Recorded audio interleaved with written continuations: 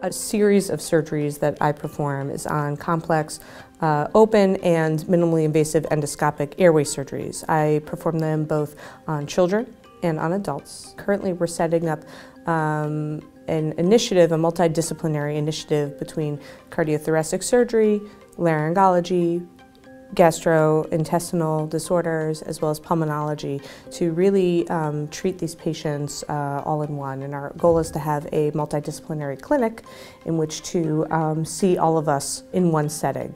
And what that really provides is patients who have trouble breathing or have needed to um, have a tracheostomy tube or have had multiple surgeries in the past due to a multitude of problems uh, are really able to establish and obtain all of their care at one institution.